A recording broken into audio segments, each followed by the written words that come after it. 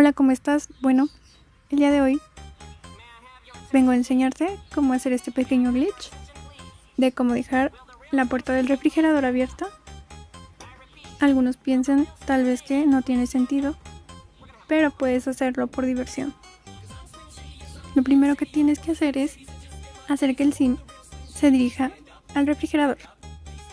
Le puedes dar en acción beber agua y cuando tenga la puerta abierta le das en cancelar la acción. Y listo, así se deja la puerta del refrigerador abierta. En algunos refrigeradores no funciona, pero es cuestión de que tú lo intentes. Recuerda suscribirte, dejar tus comentarios en la parte de abajo, compartir el video con tus amigos.